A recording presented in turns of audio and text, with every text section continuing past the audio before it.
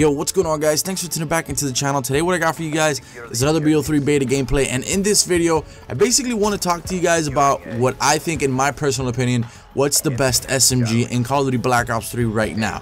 Obviously, a lot of the weapons, you know, first I want to state that a lot of the weapons here, if not most of them, are very good, okay? The weapons are very manageable. They're not like annoying to use. The recoils, the recoil patterns are really, you know, easy to maneuver.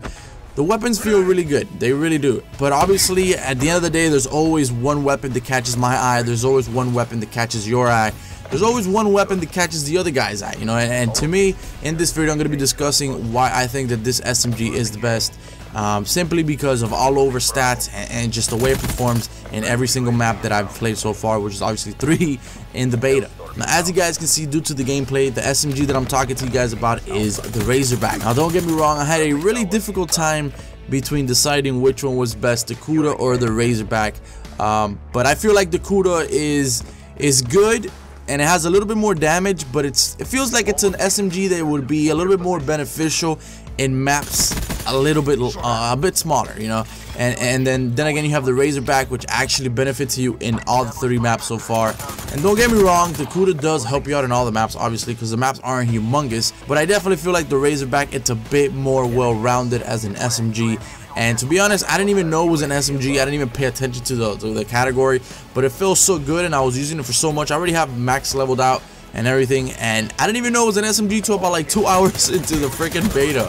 So uh, that's how good it is. It performs like a freaking AR and obviously has the abilities to uh, maneuver and and just be as good as an SMG.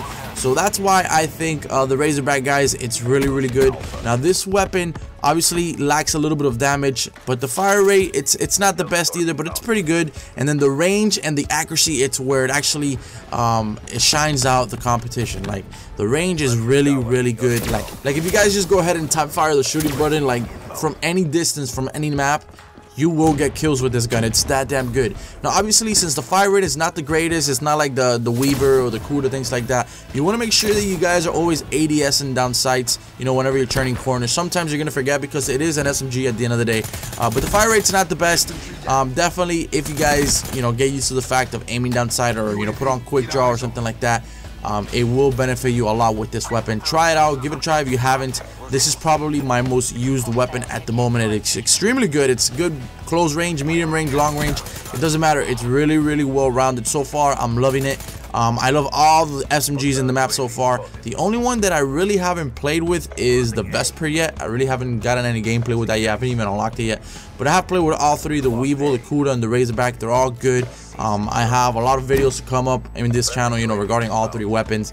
Now, I do want to make a best class setup video for the Razorback and the Kuda, perhaps the Weevil. But uh, since I'm talking about the Razorback, let me know down in the comments if you guys would want me to make a best class setup video for the Razorback explaining my class setup, how I use it, and how I think it would benefit you guys uh, to use this weapon. So if you guys want to see my best class setup for the Razorback, all you guys have to do is just let me know down in the comment section below. I hope you guys enjoyed this video. If you did, drop a thumbs up, guys. 300 likes on this video would really, really be appreciated. Thank you guys so much for tuning back into the channel.